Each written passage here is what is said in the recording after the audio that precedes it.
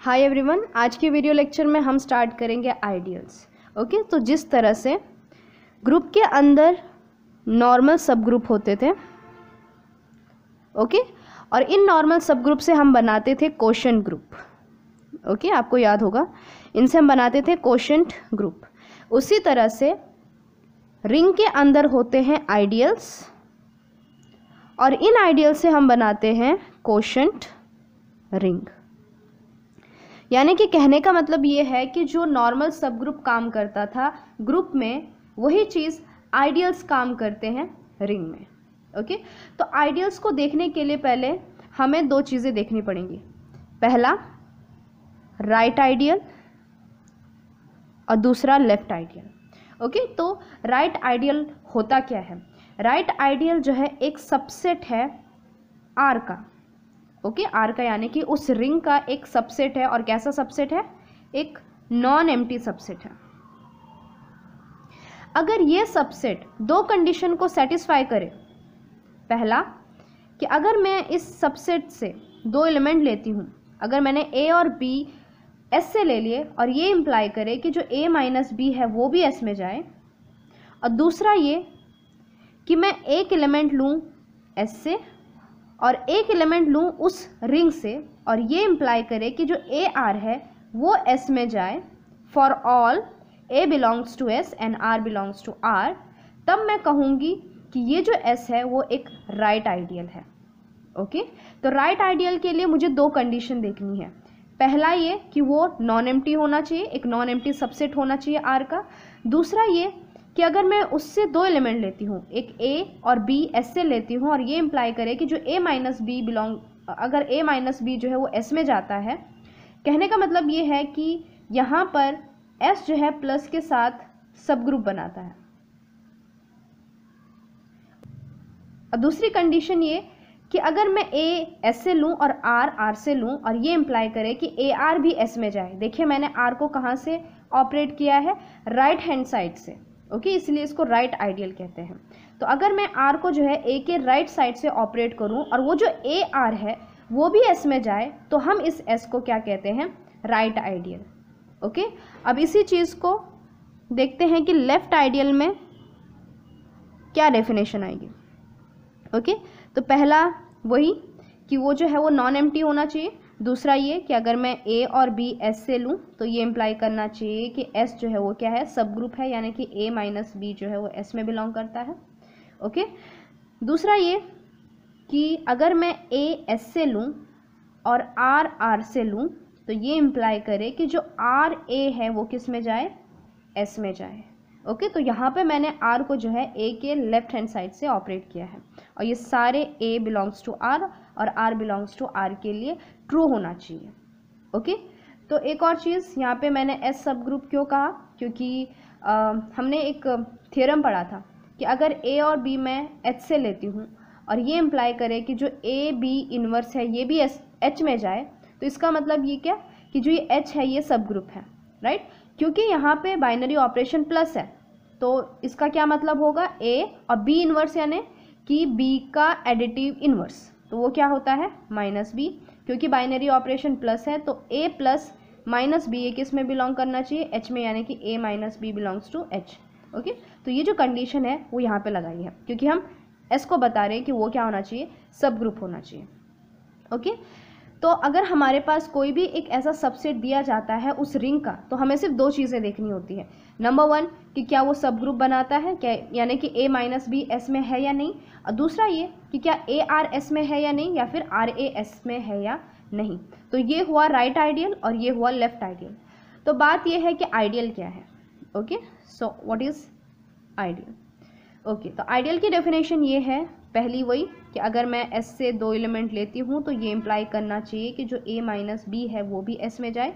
और दूसरा ये कि अगर मैं ए एस से लेती हूँ और आर आर से लेती हूँ तो ये इम्प्लाई करना चाहिए कि जो ए आर और आर ए है, यानी कि ए आर और आर ए है, ये दोनों जो है एस में बिलोंग करने चाहिए। For all A belongs to S और R belongs to R okay? तो कहने का मतलब ये है कि आइडियल वो होता है जो राइट right आइडियल भी है और लेफ़्ट आइडियल भी है। कोई एस अगर वो राइट right आइडियल भी है और लेफ़्ट आइडियल भी है तो हम उसे आइडियल कहते हैं। ओके? तो आइडियल में ये दोनों कंडीशन आ जाती हैं। अब कुछ ऑब्जर्वेशन करते हैं। ओके? ये तो नॉर्मली एक रिंग की बात हुई। अगर रिंग जो है वो कम्यूटेटिव हुआ तो क्या? ओके? अगर कम्यूटेटिव रिंग हुआ तो क्या? कम्यूटेटिव रिंग यानी क्या? कि मल्टीप्लिकेशन के रिस्पेक्ट में आर के सारे एलिमेंट क्या करते हैं? कम्यूट करते हैं।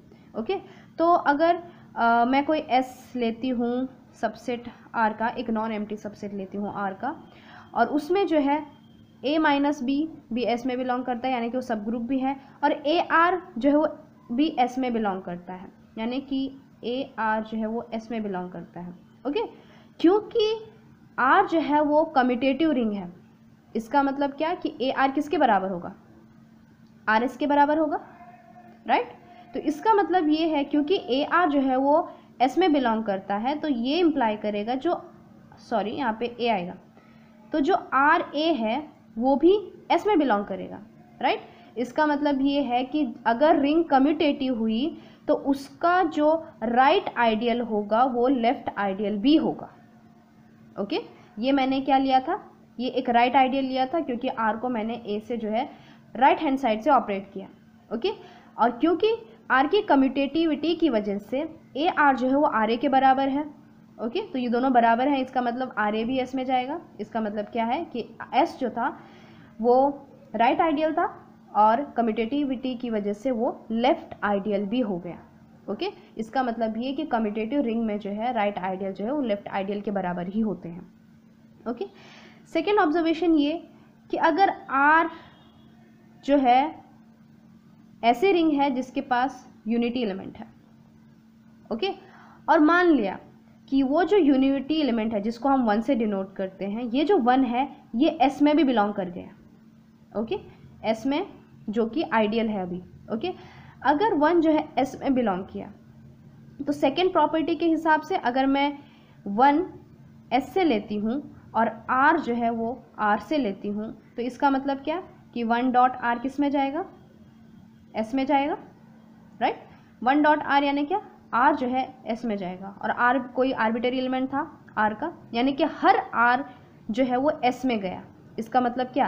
कि पूरा का पूरा एस जो है वो आर के बराबर हो गया राइट यानी कि वो जो आइडियल है, वो पूरी की पूरी रिंग बन जाएगी।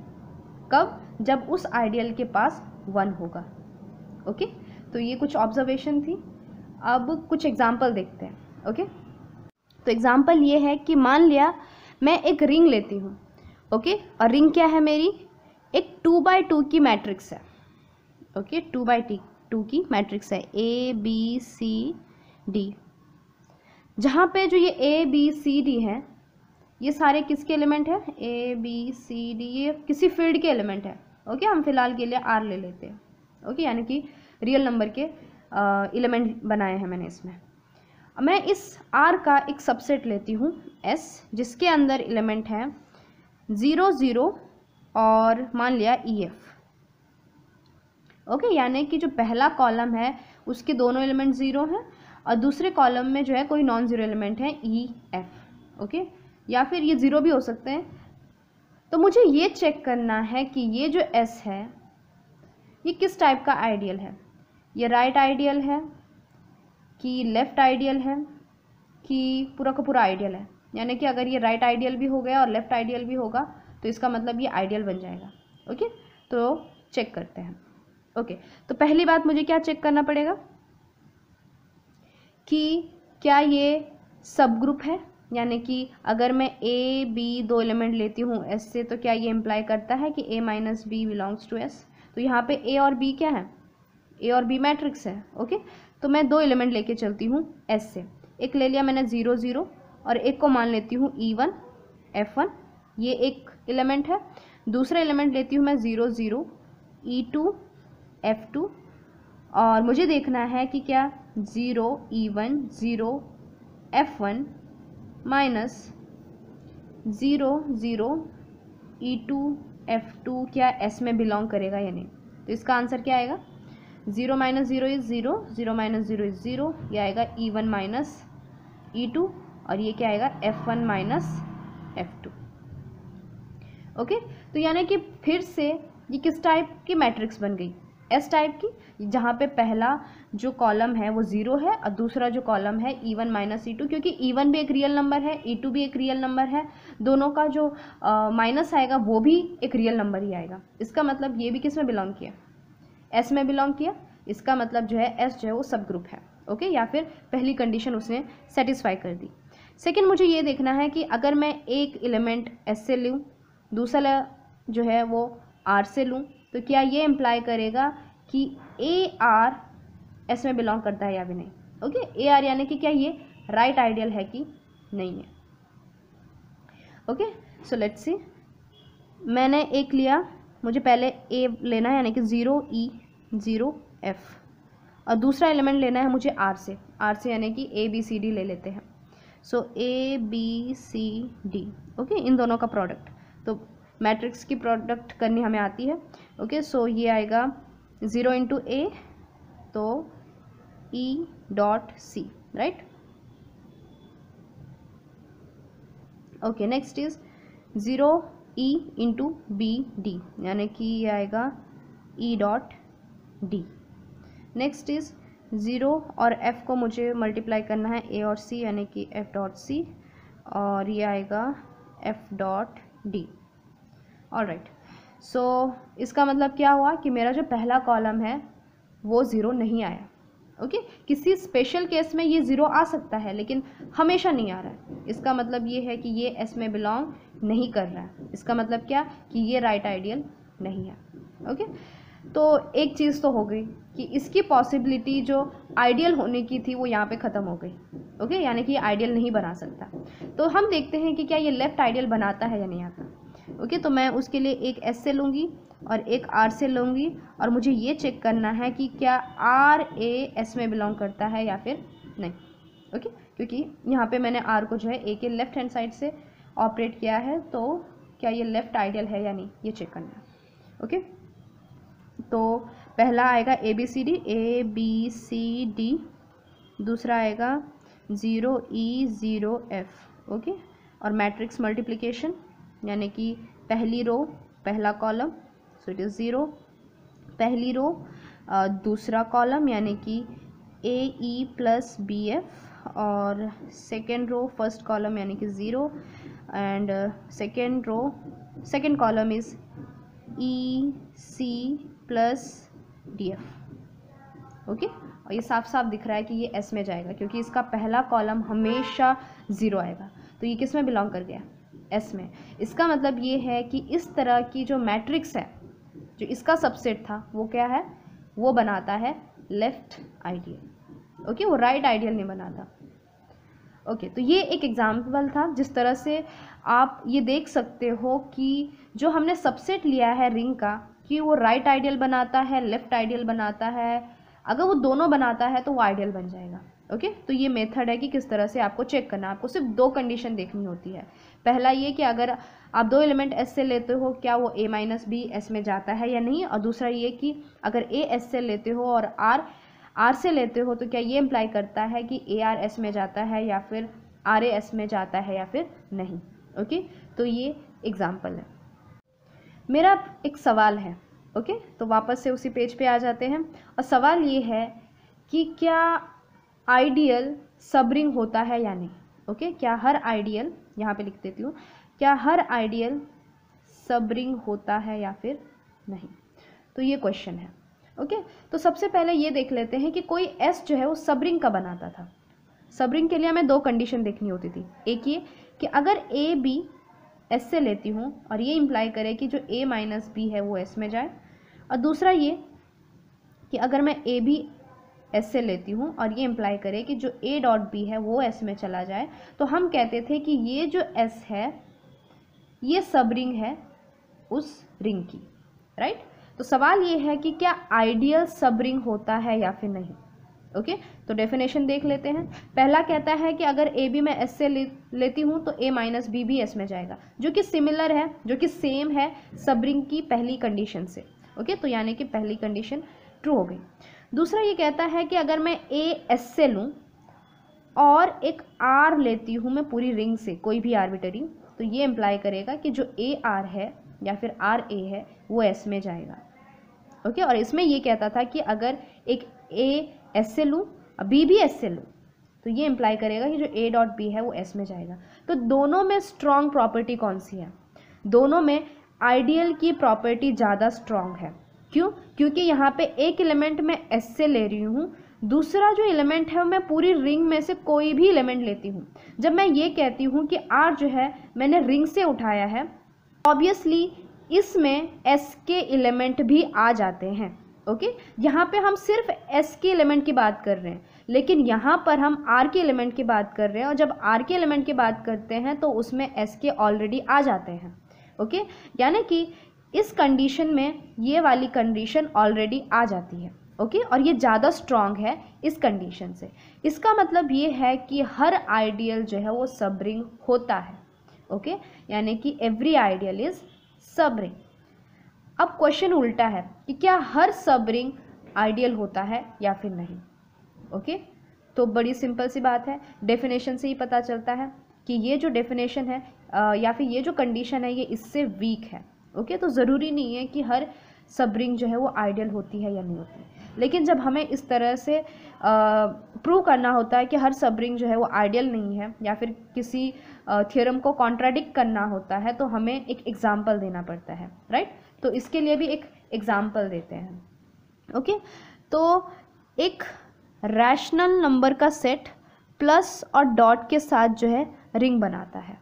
ओके और एक और रिंग लूँगी मैं, जहाँ पे इंटीजर है और प्लस और डॉट बाइनरी ऑपरेशन है। देखिए, ये अपने आप में रिंग है, ये भी अपने आप में रिंग है ओके और दूसरी बात, जो इंटीजर है, वो रैशनल नंबर का क्या होता है? सबसेट होता है।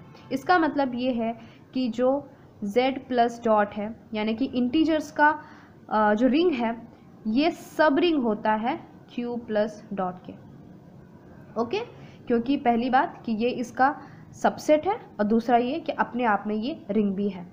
तो मुझे ये चेक करना है कि ये सब रिंग है राइट ये सब रिंग है तो क्या ये इम्प्लाई करता है कि ये आइडियल है या फिर नहीं है? ओके सो लेट्स सी सब रिंग या फिर आइडियल uh, को प्रूव करने के लिए मुझे क्या करना पड़ेगा? पहली बात ये कि ए माइनस बी अगर मैं सपोज़ ए और बी मैं जेड से लेती हूँ तो क्या ये इम्प्लाई करता है कि ए माइनस बी जो है वो जेड का एलिमेंट है।